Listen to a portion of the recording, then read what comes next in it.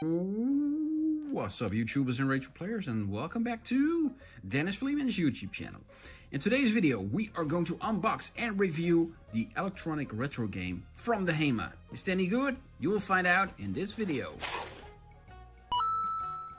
Most of you know the drill by now. I'm checking out a lot of handhelds and other cheap games to see if they are any good as a Christmas or Santa Claus present. So, first things first, the name, Electronic Retro Game. That's just awful. Air. Ah, a retro gamer. No, electronic retro game. Ah, oh, what a garbage. So, um, the, not, not uh, this name, not the Euro Retro Gamer. That's an awesome channel, by the way. Uh, 200 built-in 8-bit video games. And what I see here, I've seen this screen before. So I think I'm gonna be in a lot of pain. Another bulk load of Chinese knockoffs. But what's interesting to me is this crank right here. I'm guessing I'm gonna crank up the volume or I could put a helium balloon or a laughing gas balloon at this handheld. If that would be the case, this thing would have sold out in a heartbeat. Um, but anyway, the reason that I decided to review this game or handheld is because um, I've never seen it before. I've seen this handheld before, but in different packaging and with different colors. So is this an upgrade, a downgrade? I don't know. Um, let's check out the back. Oh, man. Oh, I recognize a couple of games from these screenshots right here. And for the parents that are watching this video and that are maybe interested in buying this product, don't. There are no Pokemon games on here. There are no Zelda or Mario games on here. These are just games that are loosely based on old retro games. They're not as much fun uh, to play or watch. So uh, just avoid. Hey, what's this? Retro handheld game? I thought this was the electronic retro game. Huh? Retro handheld game. This retro game has 200 fun, well, that's debatable, and easily playable 8-bit video games. The game has a 2.8 inch TFT screen and is usable in dark and light environments due to the backlight. Requires batteries, recycling. Uh, let's uh, start the unboxing before we can start the review.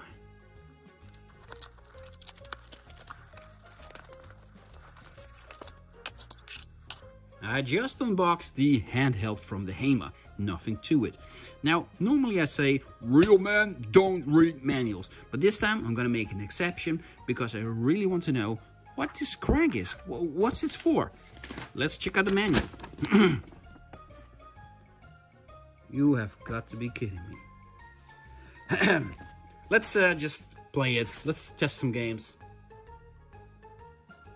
Personally, I just wanted to review this handheld and get it over with, put some batteries in here, but I'm a reviewer, so I just have to mention a couple of things that are kind of interesting. First of all, HEMA, I just unboxed this handheld and there are already scratches on the screen.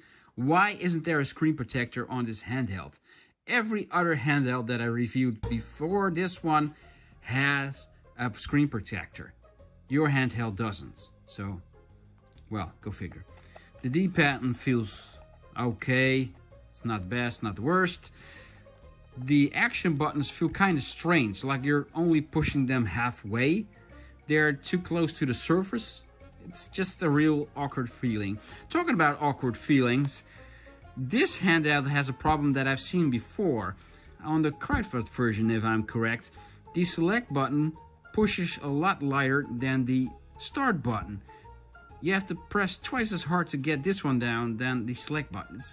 Real awkward, real awkward. Then you have this crank. Still don't know what it does. I thought about volume control, but the volume control is over here. So I'm, I'm baffled by this. So uh, without any further ado, batteries and gameplay. Now wait, one more thing that I need to mention. It's just light. It feels so light, like there's almost nothing in here. The weight is off and the plastic, I reviewed handhelds from the Action, the Lidl, the Kruidvat, and even some AliExpress versions in the past. And I mentioned this again and again, but the HEMA is now my number one. This plastic feels like the cheapest plastic I've ever felt before. I got a feeling that if I press too hard, I'm gonna break it. I mean, uh, let's just, let's play some games.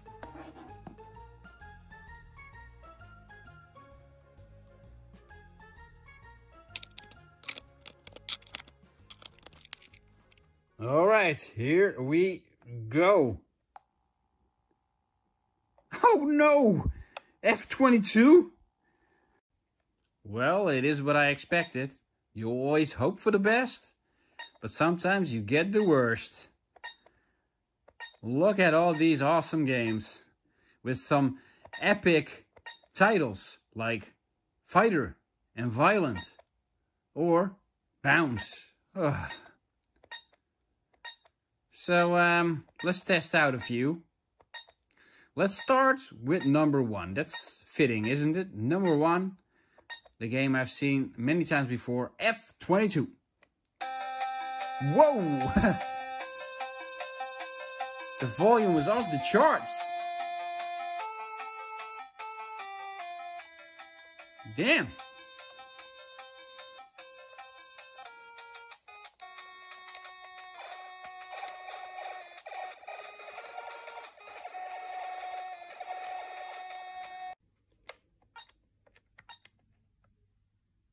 The most games that are on this HEMA handheld are absolute rubbish. But there are a few that I find interesting or just a little bit entertaining. So I'm going to show you those games instead of all the crappy ones. A sword!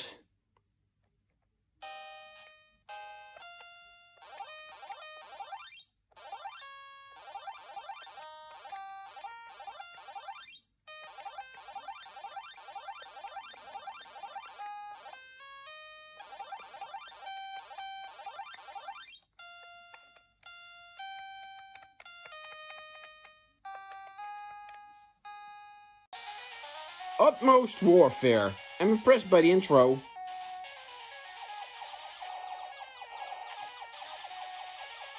Well, let's play this game. Utmost Warfare. One player, tier 5.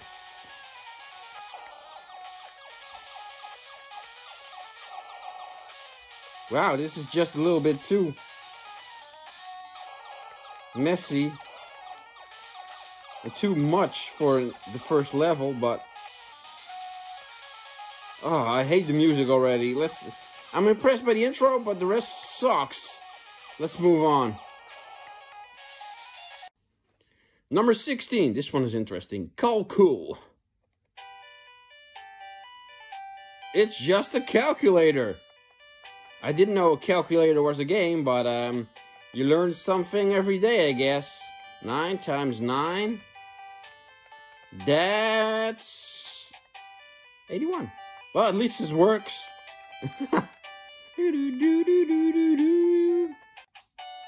this reminds me of the uh, unreleased software for the Game Boy, the Work Boy.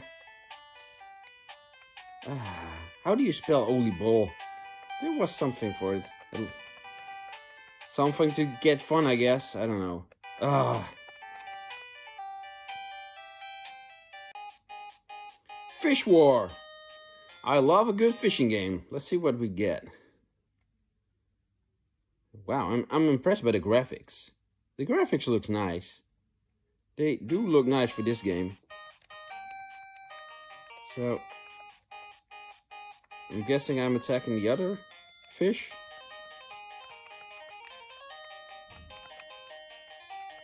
Oh yeah, works like that. Well, at least this is a little bit entertaining. Fall in the hole! Yeah. Ugh, get over here. Wow, no level 2, the game just freezes. well, this is kind of okay. Pizza Boy. This is one of those games, just like F122, that's on every handheld clone. Let's start this. It's time for a final conclusion. I can be very quick and shift about this handheld. Don't buy it, it's absolute garbage. that about wraps it up. Don't forget to like, comment, and subscribe.